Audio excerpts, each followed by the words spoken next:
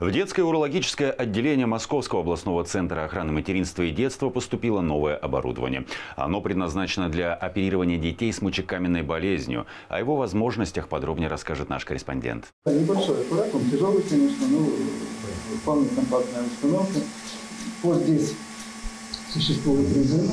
За последние пять лет мочекаменная болезнь помолодела. Если раньше симптомы проявлялись только у взрослого, то теперь ее можно обнаружить даже у новорожденного. Новое оборудование под названием липотрипта позволяет безопасно и быстро оперировать даже самых маленьких пациентов. В Московской области не было такого отделения и не было такого оборудования и такой услуги, где бы при мочекаменной болезни детям удаляли камни. Происходило дробление камней.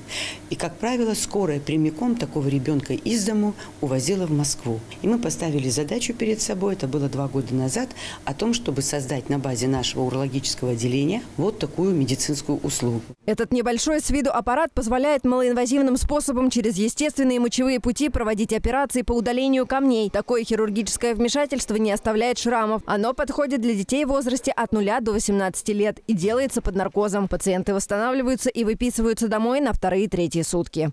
Мочекаменная болезнь у детей э, в настоящий момент очень серьезная проблема.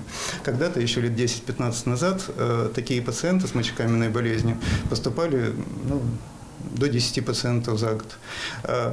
В течение последних 5-6 лет у нас практически ежедневно поступают дети с э, почечной коликой, обусловленной э, конкрементом, то есть камнем мочевыводящих путей.